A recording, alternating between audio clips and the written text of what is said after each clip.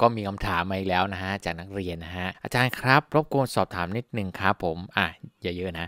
เวลาอัดร้องสองคนอะคือเพลงที่มีนักร้องสองคนอาจารย์ใช้ระบบให้สลับกันร้องคนละท่อนตามท่อนตัวเอง คือพูดง่ายคือคนที่หนึ่งร้องคนที่สองร้องก็ผัดกันอัด หรือให้คนหนึ่งร้องไปจนจบ แล้วคนที่สองค่อยมาอัดตามในส่วนที่เหลือครับผม มันทำได้สองวิธี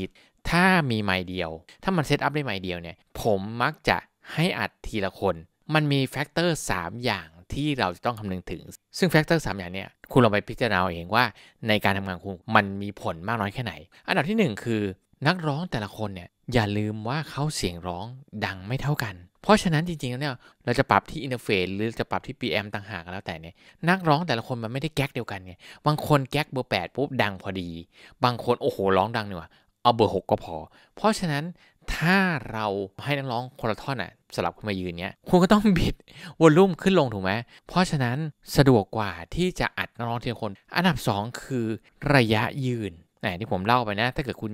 ยังไม่เคยดูคลิปคุณไปดูนะ คลิปวิธีการอัดเสียงร้องให้ได้คุณภาพ เวลาที่นักร้องยืนอยู่หนึ่งจุดเนี่ยแล้วร้องไปเรื่อยๆเนี่ยต่อให้ร้องจุดเดิมนะ แต่พอเวลายาวนานไปเรื่อยๆเนี่ยเสียงก็จะเปลี่ยนความดังก็จะเปลี่ยนก็คือพูดง่ายคือถึงจุดหนึ่งสตาร์ทปุ๊บยืนที่ 80 ใช่ไหมพอสักพักปุ๊บเริ่มเครื่องติดปุ๊บโอเคเสียงจะดังขึ้นระดับร้อยหนึ่งช็อตสักพักเริ่มเหนื่อยจะเบาลงโอเคอันนั้นคือเป็นเรื่องหนึ่งแต่โอเคเป็นระยะยาวหน่อย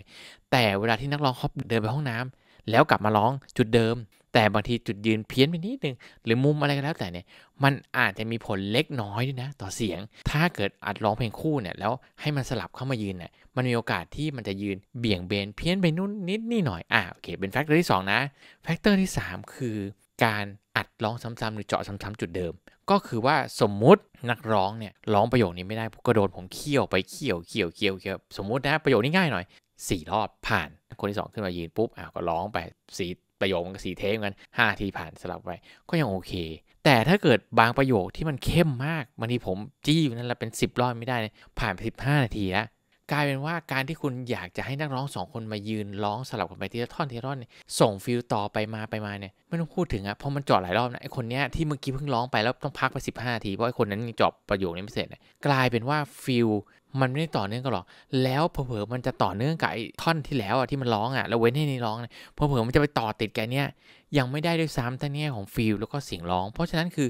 ถ้าร้องสองคนในปัจจุบันนะ ถ้ามีไมค์เดียวนะ ส่วนใหญ่ผมจะให้ร้องคนเดียว เก็บของตัวเองไปให้จบเลย เกณฑ์ตั้งได้ง่ายเอนจิเนียร์ตั้งได้ง่าย 2 ยืนอยู่จุดเดิม 3 คุณก็ค่อยๆ บิวในส่วนของคุณไป พอจบปุ๊บอะลงไปนั่งอ่านคนที่ 2 ขึ้นมา ปุ๊บ แล้วก็จัดการกันไป อาจจะต้องปรับเกณฑ์นิดหน่อยจะต้องปรับจุดดีเลยว่ากันไป อันนี้คือกรณีที่มีไมค์เดียว สุดท้ายแล้วพอจบปุ๊บผมอาจจะให้คนที่หนึ่งแหละ ลุกขึ้นมา แล้วก็ร้องยิงยาวตั้งแต่ต้นไปจนจบเลยไปสักสี่ห้ารอบ เพราะอะไรคราวนี้จะเป็นการร้องที่คุณได้ยินเสียงเพื่อนอีกคนหนึ่งอะมันร้องสลับท่อนกับคุณแล้วไง แล้วมันเป็นการร้องที่โอเคแล้วถูกไหมเพราะเราเจาะแล้วจนเรียบร้อยแล้ว มันก็จะได้ take ที่ดี feel ต่อเนื่องขึ้นกว่าที่เจาะซะอีก หรืออาจจะไม่ได้ก็เลยก็ไม่ว่ากัน เสร็จปุ๊บเอาคนที่ 2 ขึ้นมา แน่นอนรอบแรก คนที่ 2 มันจะต้องได้ยินเสียงคนแรกเป็นเป็นหย่อมของมันอยู่แล้วแหละแต่คราวนี้ปุ๊บคนที่หนึ่งอาจจะมี feel อะไรเพิ่มเติมขึ้นมาอีกอะตอนที่เขานั่งรออยู่เอ้ยได้ยินอะไรบางอย่างเว้ยพอถึงท่อนที่เขาขึ้นมาเจาะปุ๊บเออ ก็ได้อะไรที่มันต่อเนื่องไปเหมือนกัน แต่สมมุติห้องอัดที่คุณไปใช้เนี่ยสามารถ set up ไมค์สองตัวได้ นะครับผมโดยไม่ต้องไปยุ่งกัน คุณอาจจะ set up ไมค์สองตัวขึ้นมาเลย บางครั้งคุณอาจจะใช้ไมค์คนละยี่ห้อเลยก็ได้ preamp คนละยี่ห้อนะครับสมมติคุณไปห้องอัดใหญ่ๆอย่างห้องอัด DBS เขานะก็เจ๋งกว่าเขาอยู่ปรีอง preamp โอ้โหคอมเพรสเซอร์เนี่ยคนละอย่างแล้วคุณจะใช้ระบบร้อง